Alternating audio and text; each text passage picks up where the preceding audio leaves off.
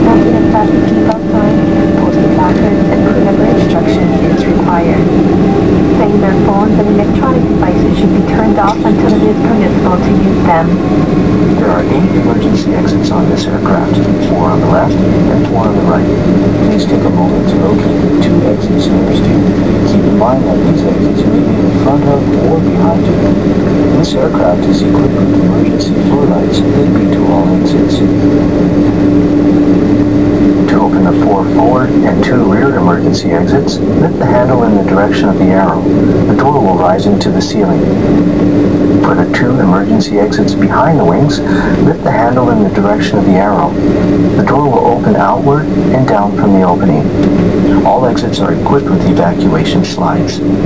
All evacuation slides, with the exception of those immediately behind the wing, can be detached and used as slide ramps in the event of a water landing. The cabin is pressurized for your comfort. Should the cabin pressure change in flight, an oxygen mask will appear from a mask compartment above your seat. When this happens, quickly reach for the mask and pull it firmly towards you. This starts the flow of oxygen.